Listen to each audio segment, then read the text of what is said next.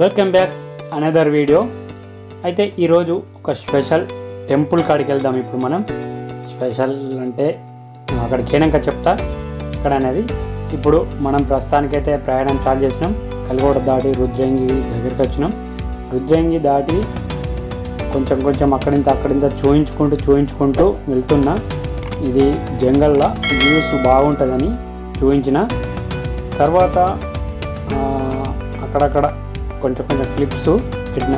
ఇక్కడ ఒక కిలోమీటర్ మందం రోడ్డు రిపేర్ నడుస్తుంది. దాని తర్వాత మళ్ళీ చూపించలేను. వేములవాడ కాడనే చాలు చేసిన. వేములవాడ కాడ కొంచెం చూపించిన. ఇక్కడ తెలుసు ఇది. మీకు అందరు గుర్తే. ఇక్కడికి వెళ్ళి వచ్చి బ్రిడ్జ్ దగ్గరికి వెళ్ళినాం. బ్రిడ్జ్ దగ్గరికి వెళ్ళి చక్కగా కమాండ్కి వచ్చినాం ఇది కరీంనగర్ రోడ్కి వచ్చినాం ఆల్రెడీ కరీంనగర్ రోడ్లో ఉంటుంది అది. కరీంనగర్ రోడ్డు కొద్దిగా దూరం వెళ్ళాలా? ఒక మినిమం ఐదు కిలోమీటర్లు ఆరు కిలోమీటర్లు వెళ్ళిన తర్వాత అంటే ఎక్కడంటే కుదురుపాక దాటిన తర్వాత వెంకట్రావుపల్లి అని ఒక గ్రామం వస్తుంది. ఆ గ్రామంకు నుంచి రైట్ సైడ్ తీసుకోవాలి. ఇది అదే వెంకట్రావుపల్లి. అయితే రైట్ సైడ్ తీసుకున్న తర్వాత ఒక మినిమం ఇరవై ఐదు నుంచి ముప్పై కిలోమీటర్ల లోపలికి వెళ్ళాలి. వెళ్తే ఆ టెంపుల్ వస్తుంది. ఇంకొకటి ఇది మిడ్ మానేర్లకు వెళ్ళి పిడిచిన నీళ్ళు వెళ్తే లోయర్ మానేర్లకు వెళ్తాయి. మనం ఇప్పుడు టెంపుల్ దగ్గరికి వచ్చినాం. ఇది మెయిన్ ముఖద్వారం ఇది. ఇక్కడికి వెళ్ళి వెళ్తారు లోపలికి. ఇది ఉత్తరం సైడ్ ఉంది. ఇంకొక ద్వారము అటు సైడ్ తూర్పు సైడ్ ఉంది. ఇక్కడ కాలు కడుక్కున్న ప్లేసు. ఇక్కడ నల్లల కాడ కాలు కడుక్కొని ఇక్కడ నుండి ఈ గేట్లకు వెళ్ళి లోపలికి వెళ్తారు. అయితే hi friends welcome back our channel P M Telugu logs అయితే ఈరోజు మనం ఒక ప్రత్యేక టెంపుల్కి వచ్చినాం. అదే స్వయంభు శ్రీ లక్ష్మీ గణపతి. అయితే ఇది ఈ టెంపుల్ మన ఏరియాలో ఎక్కడ లేదు దాదాపుగా. అయితే పార్వెల గ్రామం అనే గ్రామంలో ఉన్నది. అది ఇల్లంతకుంట మండలం. కరీంనగర్ జిల్లా. అయితే ఈ గ్రామానికి నేను ప్రత్యేకంగా దేవుని దర్శనం చేసుకుందామని వచ్చిన. అయితే మీకు కూడా చూపిస్తా ఎట్లుందనేది. మనం ఇప్పుడు ఇక్కడికి వెళ్ళి లోపలికి వెళ్దాం. ఈ మెయిన్ ద్వారంలోకి వెళ్ళి లోపలికి వెళ్ళి టెంపుల్ ఎట్లుందనేది చూద్దాం. చూసి వివరించడానికి ప్రయత్నం చేస్తా. లోపలికి వెళ్ళగానే మనకు ధ్వజస్తంభము ఏ టెంపుల్ అయినా దర్శనం ఇస్తుంది ఇక్కడ చూసినట్టయితే చాలా హైట్ ఉన్నది. ఇత్తడి తొడుగుతోటి చేయించింది ఉన్నది ఇక్కడ. ఇంకొకటి మీరు కింద చూసినట్టయితే ఇక్కడ వినాయక వాహనము ఎలక వాహనం ఉంది ఇక్కడనే. చూడండి. ఇక్కడ కొబ్బరికాయలు ఈ చెట్టుకు ముడుపు కడతారు మొక్కి ఏమన్నా కోరికల కోసం దానికి దీనికి దేనికైనా ముడుపు కడతారు కోరికలు నెరవేర్చుకోవడానికి. అట్లాగే చూసుకుంటే ఇది ఉమ్మగుండం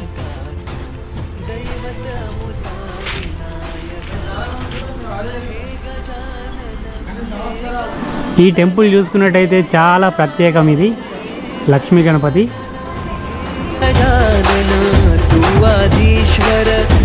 పరమేశ్వర.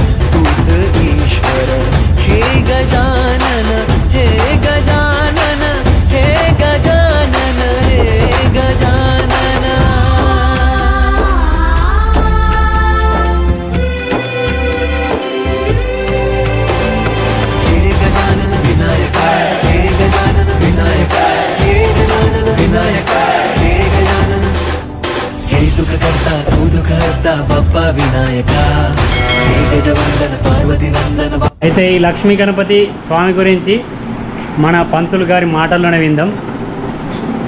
ఓకే? ఇక్కడ ఈ యొక్క స్వామి మహాత్యం ఏంటంటే పంట పొలాలలో వెలువడ్డటువంటి మహాగణపతి. ఈయన యొక్క చూపు ఆగ్నేయ ఊళ్ళలో ఉండడం వల్ల ఆ యొక్క స్వామి యుగమాయలో ఉన్నట్టుగా ఉండే ఆగ్నేయ దిశలో ఉండి ఎవరేది కోరుకున్నా కూడా ఇచ్చేటటువంటి గణపతిని ఎవరికి తెలియదు. పాపం పిల్లవాళ్ళు కూర్చునేది ఆడుకునేది పాడుకునేది ఒక పెద్ద మనిషి ఏం చేసింది ఇట్లా కాదయ్యా? చక్కగా ఈ విధంగా దేవద్దు దేవునిగా కూర్చోవడం కాదు మనం ఆయన ఆరాధన చేయాలని చెప్పి ఒక పెద్ద మనిషి అన్నాడు ఆ ప్రకారంగానే ఎవరికల్లా కొంతమంది బుద్ధి ఉంటుంది ఇక్కడ ఇంతమంది స్వామి మేము కూడా చేస్తాం మేము కూడా పూజ చేస్తాం ఇది తిరుపతి పని నైవేద్యాలు నడుస్తుంది. అయిన తర్వాత కొన్ని రోజులు అయినాక ఏం చేసినాయంటే ఇట్లా ఎండకెండ పట్టే వానగోర పట్టే ఇట్లా కాదు కరెక్ట్. ఒక నిర్దిష్టమైన స్థలం ఏర్పాటు చేసుకొని మన ఆలయాన్ని కట్టాలని చెప్పి సత్సంకల్పం కలిగి ఇక్కడ ఉన్నటువంటి భక్తులందరూ కూడా కమిటీ వాళ్ళు కానీ ఊరు ప్రజలందరూ కూడా కలిసి కుటుంబ గ్రామాలతో సహా ఇతర ఒక కానీ పట్టణాలతో సహా కూడా అందరికీ కూడా కలిగించేది లేదా అంటే మేము కూడా సహాయం చేస్తాము. ఆ స్వామికి మా యథాశక్తిగా మేము కూడా ఆయనలో సేవలో పాల్గొంటాము అని చెప్పి ఆ సేవలోకి పాల్గొనడానికే సన్నద్ధులై వాళ్ళు కూడా విరాళ రూపకంగా ఇచ్చింది అయితే ఒక ఈ దాదాపు ఒక thirty eight thirty eight lakhs దాకా ఖర్చు అయింది. వీళ్ళందరూ ఏం చేసిండ్రు? చక్కగా స్వామివారికి కావాల్సిన మందిరం ఏర్పాటు చేసింది తర్వాత పక్కకున్నటువంటి దేవాలయ ఆలయానికి అధికారి ఎవరు? గుడికి ఒక అయ్యగారికి ఒక గృహం కావాలని చెప్పి గృహాన్ని కూడా ఏర్పాటు చేశారు. ఈ విధంగా అయ్యగారి గృహ వసతి ఇటు బ- దేవాలయ వసతి కల్పించి చక్కగా పూజలు చేస్తుంది అయితే ఈ స్వామి యొక్క ఎప్పుడైతే ఆ స్వామిని విగ్రహాన్ని ఆగ్నేయంలో ఉన్నాడో కదిలించడం వలన ఆ రోజులో విపరీతమైన పంటలు పడినాయి ఆ సంవత్సరం అయితే వీళ్ళందరికీ బుద్ధి కలిగి చక్కగా షెడ్ వేయడం కాకుండా గుడే కడదామని చెప్పి సత్సంకరంతో కట్టడం వల్ల ఆ కట్టడంతోనే కాకుండా ప్రజలు ఒక్కొక్కరు ఒక్కొక్కరు కూడా వర్ధలంతులుగా వాక్తూ ఆ స్వామికి ఏంటంటే ఒకటి ఒకటి విషయం ఏంటంటే ఆయన ఒక తొండము. కుడివైపు కుడివైపున ఒక బలం పట్టుకొని ఉంటాడు స్వామి.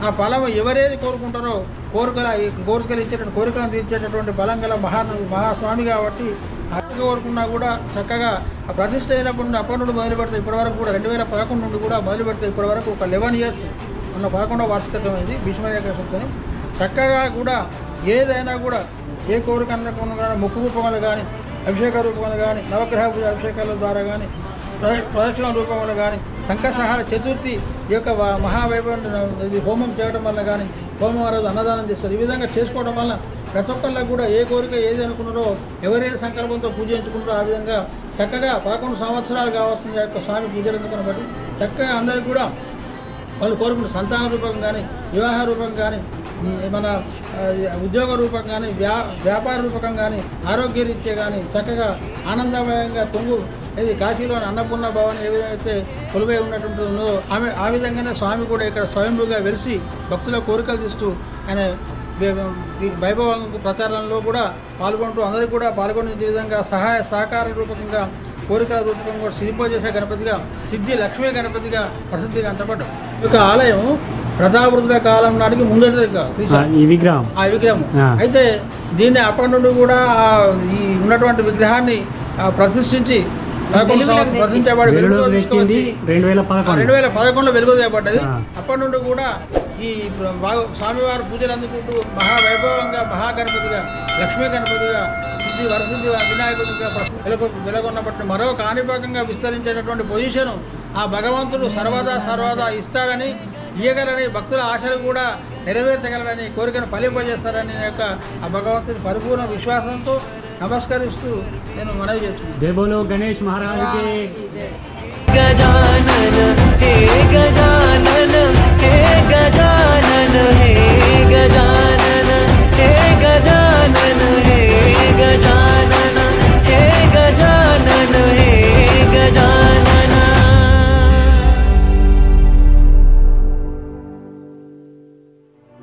ఈ వీడియో మీకు నచ్చింది అనుకుంటున్నా నచ్చితే సబ్స్క్రైబ్ చేయండి అట్లాగే ఒక లైక్ చేయండి ఫ్రెండ్స్ పదే పదే మేము సబ్స్క్రైబ్ చేయండి సబ్స్క్రైబ్ చేయండి అని అంటున్నా. కానీ చేయడం లేదు చాలామంది వటిగానే చూస్తున్నారు ప్లీజ్ సబ్స్క్రైబ్ చేయండి. ఈ టెంపుల్ గురించి పంతులు మాటల్లో విన్నారు కదా ఎలా అనిపించిందో మీరు కామెంట్లో నాకు తెలియజేయండి. మినిమము నేను ఒక అరవై కిలోమీటర్లు అరవై ఐదు కిలోమీటర్ల దూరం ఈ టెంపుల్ చూద్దామని ఈ వ్లాగ్ చేద్దామని వచ్చిన ఇక్కడికి. దర్శనం అయింది స్వామి దర్శనం అయింది వ్లాగ్ కూడా అయింది. నాకు తోచినంత మట్టుకు కవర్ చేసిన అనుకుంటున్నా.